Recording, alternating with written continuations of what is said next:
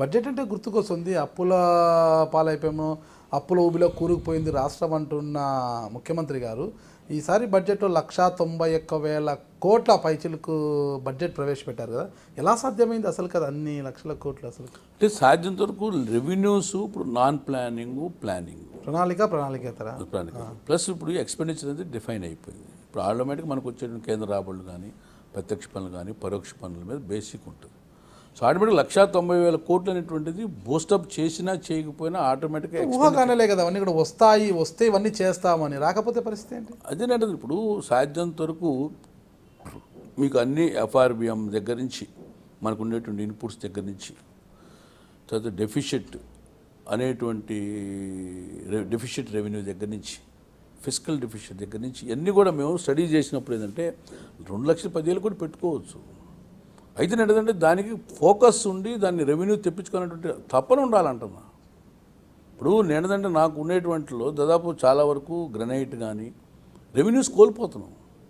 ఆ రెవెన్యూస్ పగడబందికి తెప్పించాలంటే ఎంతోమంది అధికారులు మనసవాచ కర్మ పనిచేయాలి ఎందుకంటే ఐఎమ్ నాట్ రెవెన్యూ కలెక్టర్ ఏదైతే ఏ కమర్షియల్ ట్యాక్స్ ఆఫీస్ ఉంది జిఎస్టీ ఉన్నాయి వాళ్ళ అధికారులు ఏంటంటే ఎక్కడ బెండ్ కాకుండా వాళ్ళు మళ్ళీ ఈ యొక్క భారతదేశం ఉన్నటువంటి పేదవాడు గెలవాలంటే భావంతో ఉన్నప్పుడు ట్యాక్సీల దగ్గర ఎక్కడ కాంప్రమైజ్ కాకపోతే హండ్రెడ్ పర్సెంట్ మనకు వస్తాయి డబ్బులు. ఎంతమంది అవాయిడ్ అవుతున్నారు?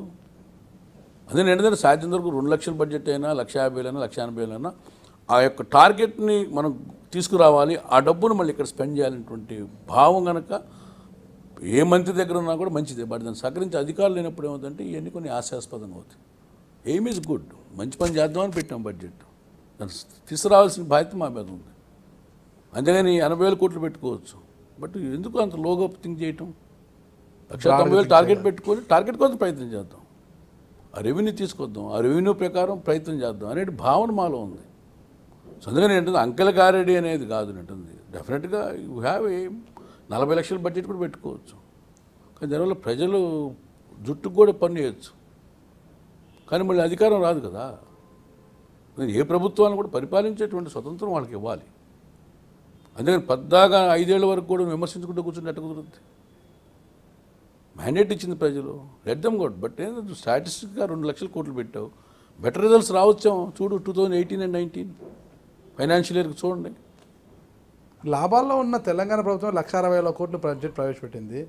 మనం నష్టాల్లో ఉన్నాము అప్పుల్లో ఉన్నాము అది ఇది అంటున్నారు. లక్ష తొంభై వేల కోట్లు ప్రవేశపెట్టడం ఏంటనేది అందరికీ కూడా విస్మయం వ్యక్తం చేస్తున్నారు. అంటే ఇక ఆయన ఎలక్షన్ థింక్లో ఉన్నాడు. ఇక్కడ ప్రజలు లక్ష తొంభై వేల కోట్లు అనేది దానికంటే మనకు జనాభా ఎక్కువ. మన దాదాపు యాభై ఆరు నలభై నాలుగు మనకు రేషియో ఉంది కదా ప్రజల జీవితం అంతా. హైదరాబాద్లో ఎవరిని బాధ పెట్టదలుచుకోలేదు కేసీఆర్ గారు. ఆయన ఆ రకంగా పెట్టుకున్నాడు బడ్జెట్ మనం కూడా పెయిన్ లేకుండా మిస్ అవుతున్నటువంటి రెవెన్యూస్ని సరిగ్గా క్రమపందాలు తెచ్చుకుందాం అనేటువంటి బడ్జెట్ ఇది. అంతేగాని ఎక్కడైతే ట్యాక్స్ ఎగ్గొడుతున్నారు ఇప్పుడు గ్రనైట్ ఉంది హైదరాబాద్ పోతుంది ఎగిరిపోతుంది ఇసుక ఉంది ఫ్రీగా ఉందా లేదా సరిగ్గా జరుగుతుందా లేదా దానికి ఏం చేద్దాం? లేకపోతే ఈ యొక్క ఐటీ సెక్టర్లో ఏమైనా మిస్ అవుతుందా? అనేటువంటి దాని మీద క్షుణ్ణంగా పరిశీలించి ఒక ముప్పై వేల కోట్లు నలభై వేల కోట్లు మనం రెవెన్యూ పెంచుకోవచ్చు అనే భావంతో యనమల రామకృష్ణ గారు చేసి ఉండొచ్చు. ప్రభుత్వం చెప్తుందో వచ్చి చేయడం అసెంబ్లీలో బడ్జెట్లు ఇట్లా ఘనంగా ప్రవేశపెడతారు ఘనంగా చెప్పుకుంటారు. మరోవైపు చూస్తే రెండు వేల పద్నాలుగు మీ అప్పులన్నీ తీర్చేస్తా మిమ్మల్ని లక్షాధికారులు చేస్తా కోటీశ్వరులు చేస్తా అన్న చంద్రబాబు నాయుడు ఇదే అసెంబ్లీలోనే మళ్ళీ అసెంబ్లీ సాక్షిగా ప్రజలను అప్పులు అడుగుతున్నారు. రాజధాని నిర్మాణానికి అప్పులు ఇవ్వండి ఒక బస్తా బియ్యం ఇవ్వండి మీకు సంబంధించి బాండ్లు ఇస్తాం బ్యాంకులు ఇచ్చే వడ్డీల కన్నా రెండు శాతం ఎక్కువ ఇస్తామంటున్నారు. ఇదంతా కూడా ప్రజలను అభద్రతా భావంలోకి నెట్టేయడం కాదంటారా?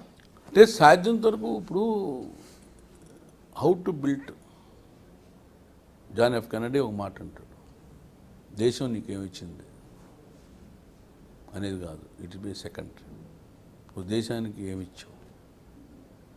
ఇట్స్ ప్రైమరీ అంతేగాని ప్రతిదీ నాకు దేశం ఏమిస్తుంది? ప్రతి సమాజం నాకేమిస్తుంది?